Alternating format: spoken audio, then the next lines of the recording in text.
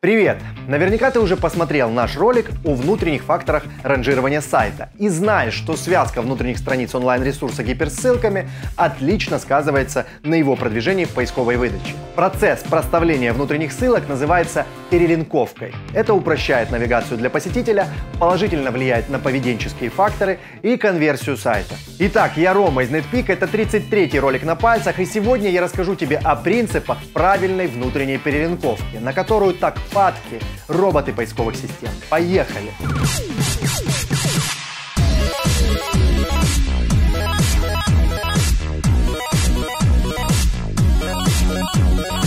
Внутренняя перелинковка нужна, чтобы помочь проиндексировать страницы сайта поисковому роботу, распределить статический вес ссылок, увеличить глубину просмотра и длительность пребывания пользователя на сайте. Давай зафиксируем несколько базовых принципов перелинковке обязательно должны участвовать важные для продвижения страницы. В первую очередь необходимо увеличивать вес категорий и фильтров.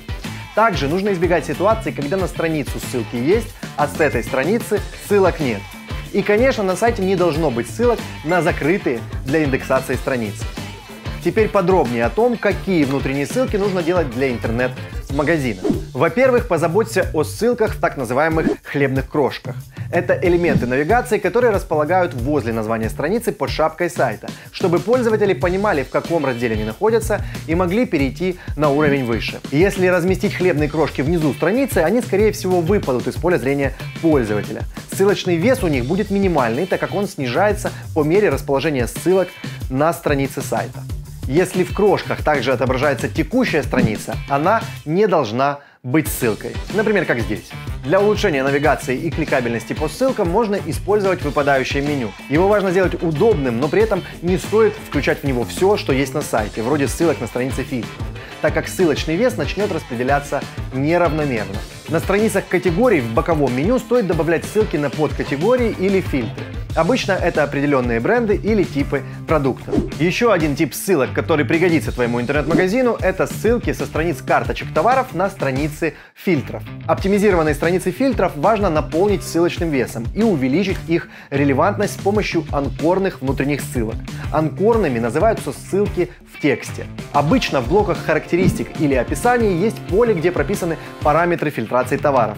Именно там нужно настроить автоматическую генерацию ссылок на соответствующие фильтры в категориях, к которым привязан товар. Это ускорит индексацию страниц фильтров и придаст им статический вес. Также для каждого фильтра можно прописать альтернативное название. К примеру, если в блоке фильтров цвет название фильтра белый, то для основной массы категорий самыми релевантными будут запросы вроде белые ноутбуки или ноутбуки белого цвета. Соответственно, на карточках товаров в любом видном месте стоит разместить блок со ссылками на максимально релевантные анкоры. Главный недостаток этого способа в том, что он медленно реализуется из-за большого количества ручной работы. В блоке с фильтрами на страницах категорий нужно внедрить значение фильтрации товаров с помощью ссылок на страницы фильтров. На них должны быть видны ссылки на страницы пересечения двух фильтров, в том случае, если они открыты для индексации. В обратном случае будет расходоваться краулинговый бюджет поискового робота. Это количество страниц, которые он может проиндексировать за один обход сайта. Все новые страницы в таком случае могут очень долго не попадать в индекс поисковых систем. Можем сделать и по-другому. На страницах фильтров должны быть видны ссылки на другие страницы фильтров, но не из обычного блока со ссылками, а из отдельного заметного на сайте блока. Следует разместить ссылки с наиболее релевантными анкорами, которые прописываются заранее. Так ты получаешь максимальную релевантность запросу, но из-за большого количества ссылок появляются проблемы с юзабилити и опять-таки много замедляющей ручной работы. Ссылки нужны в любом случае, но важно не переусердствовать, чтобы не появилось несколько сотен ссылок в блоке с фильтрами, потому что так растратится вес категорий. Здесь смело подглядывай за конкурентами и смотри, как это реализовано у них. Еще один тип ссылок, которые пригодятся твоему интернет-магазину, это ссылки с карточек товаров на другие товары. В первую очередь для этого используют блоки «Похожие товары» и «Рекомендованные товары». Эти ссылки полезны не только для распределения ссылочного веса, но и для повышения конверсии.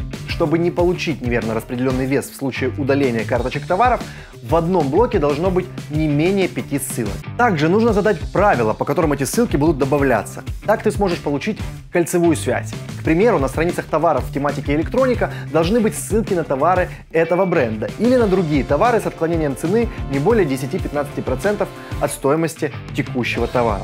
Последний тип ссылок, о котором я хотел бы рассказать, это ссылки со страниц брендов. На странице брендов нужно добавить блоки со ссылками на фильтры по этому бренду в категориях. Лучшего эффекта можно добиться, если сделать ссылки с анкорами вида категория плюс бренд. Если использовать все перечисленные приемы, выйдет сложная система внутренней перелинковки. В этом случае категории это высокочастотные, фильтры это среднечастотные, а товары это низкочастотные фразы. Главная страница и категории будут собирать основной ссылочный вес. Главное также получит основную массу внешних ссылок, благодаря чему станет более авторитетной в глазах поисковиков и сможет влиять на ранжирование категорий. Часть веса будет перераспределяться с нее на категории, а с них распределяться на фильтры. Для расчета внутреннего веса страниц используй наш инструмент Netpeak Spider. Он позволит тебе увидеть ссылочный вес страниц твоего сайта. Ссылку на сервис и промокод ты найдешь в описании под этим видео. Итак, если ты решил взяться за внутреннюю перелинковку своего интернет-магазина, проставь ссылки в хлебные крошки и помести их на видном месте.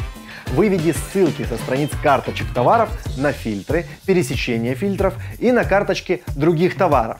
Задействуй ссылки с анкорами категория плюс бренд и стань властелином навигации пользователей и поисковых роботов на своем сайте. Это все на сегодня. Если тебе понравилось, то как обычно, ставь пальчик вверх, фейсбуч это видео своим друзьям, подписывайся на наш канал, читай блог NetPeak и будь счастлив. Пока, до следующих выпусков.